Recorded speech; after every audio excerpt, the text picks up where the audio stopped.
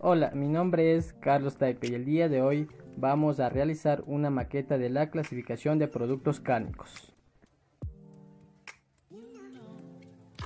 Listo, vamos a empezar a hacer la maqueta de la clasificación de, de embutidos. Entonces, para empezar, busqué todas las cosas que tenía en la casa y algunas que fui a comprar que voy a necesitar para hacer mi maqueta.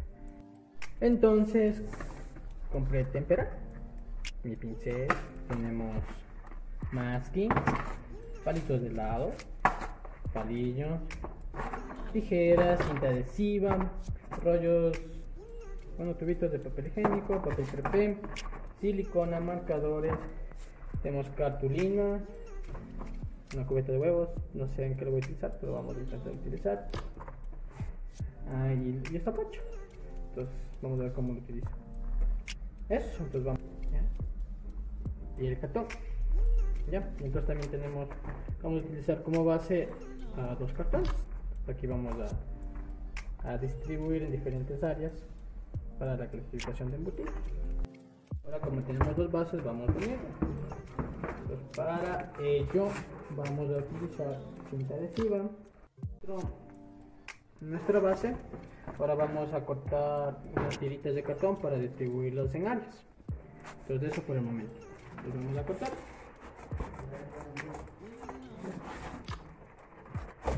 Entonces ya tenemos, ya cortamos las tiras. Entonces ahorita vamos a forrar con papel crepé para dividir nuestros áreas. Entonces vamos a hacer eso ya. Vamos a, comenzar a, forrar nuestros cartones. Bueno, entonces ahorita estamos ya acabamos de el cartón con papel crepé celeste. Ahorita vamos a vamos a dividir. Eh, medimos. Entonces yo tengo 14 clasificaciones entonces vamos ahorita a dividir las áreas con estas cosas con las tiritas y después de un momento ya van a ya. Entonces ya ahorita ya estamos terminando en, en dividir las áreas. Entonces después del siguiente paso vamos a vamos a pintar cada área de diferente color para cada para la clasificación de los productos cárnicos que pueden ser precocidos, curados, madurados, crudos.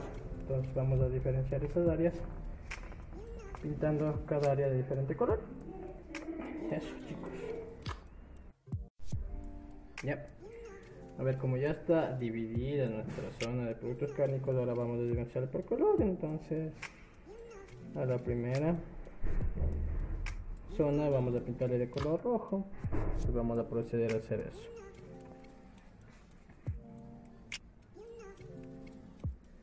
Ya chicos. Entonces el primer cuadrante va a ser de los productos cárnicos procesados que es de color rojo. El segundo cuadrante que es de color morado va a ser los productos cárnicos crudos. El tercer que es de color tomate va a ser de los productos curados madurados.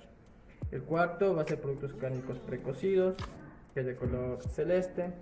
El quinto que es un verde, un verde claro, que va a ser de productos cárnicos cocidos. Aquí tenemos un color menta, que van a ser los productos cárnicos acidificados. Aquí en el color rosado va a ser los productos cárnicos ahumados y así sucesivamente. Ya, a ver, una vez ya mm, nuestra maqueta ya está seca, totalmente seca, vamos a vamos a cortar unos unos platitos donde vamos a colocar cada producto cada producto cárnico de acuerdo a la clasificación. Entonces para ello vamos a hacer platitos donde vamos a, a colocar nuestros productos cárnicos. Y en cada área vamos a pegar según el, el número de cada de cada producto. Entonces vamos a proceder a pegar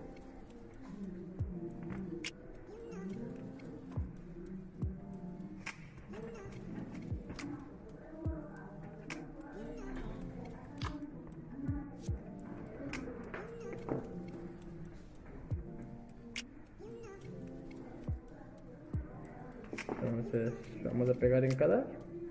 Y después de un momento ya vamos a ver cómo queda. Bueno ahorita ya acabé de pegar donde voy a poner cada producto. Y voy a voy a recortar dependiendo de cada área para distinguirlos y voy a pegar en estos palitos de lado. Entonces luego regresamos. Entonces chicos ya de la clasificación ya cortamos este va a ser producto cárnico rebozado apanado y algunos productos de esta clase de esta clase. Entonces vamos a pegar en los palitos en todas las divisiones que tenemos. Ok chicos entonces ahorita ya como ya distribuimos por cada área dependiendo de la clasificación pues vamos a hacer dos. Vamos a poner en estos palillos cada producto. Entonces estoy cortando los puntitos para, para pegar aquí cada producto y ponerle en la maqueta. Bueno ahorita ya una vez cumplida con la división de cada parte pues ahorita vamos a vamos a en la cartulina vamos a, a formarles en 3D a todos los productos de cada proceso de cada producto cárnico entonces tengo que hacer 33 productos. Pues ahorita vamos a hacer vamos a hacer el jamón. Ya una vez que estamos terminando de, de realizar nuestros productos cárnicos vamos a proceder a pegar en cada en cada área no listo vamos a pegar ahorita las alas precocidas que es un producto cárnico precocido.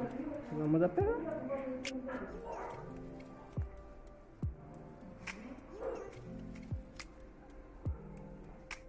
Entonces como ya tenemos dividido entonces solo pegamos en nuestro platito.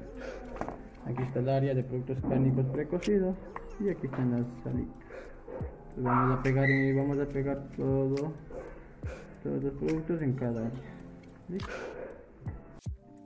Bueno entonces una vez ya terminada de realizar mi maqueta entonces les voy a explicar la clasificación de los productos cárnicos Dentro de la clasificación de los productos cárnicos nos encontramos con los productos cárnicos procesados.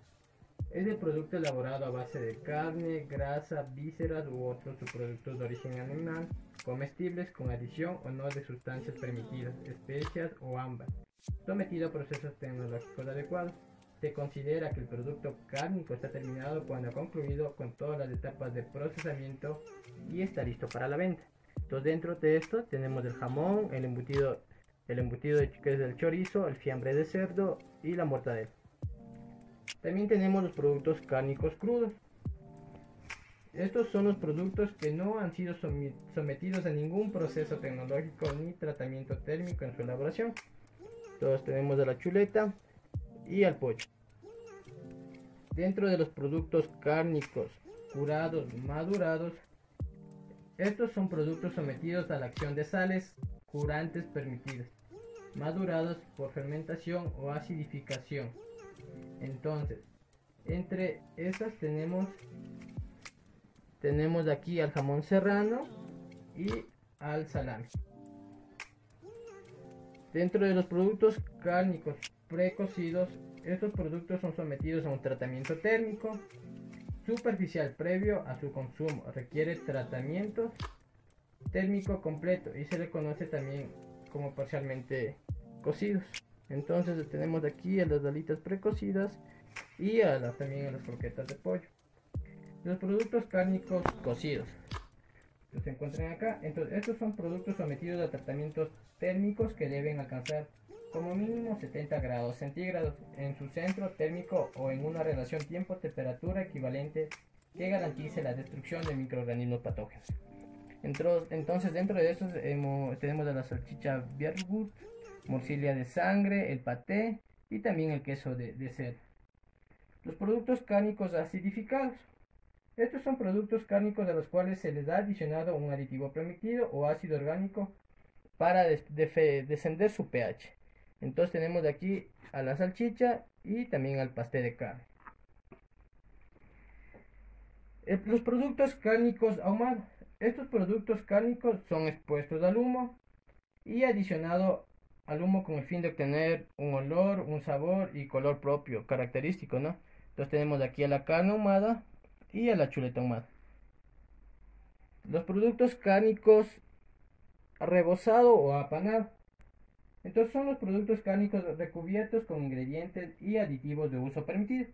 Entonces tenemos aquí el camarón apanado, la milanesa y la hamburguesa rebozada. Los, los productos cárnicos congelados. Entonces, estos productos cárnicos se mantienen a una temperatura igual o inferior a menos 18 grados centígrados. Entonces tenemos a, a los roti de pavo y también a las alitas de pollo congeladas. Los productos cárnicos refrigerados.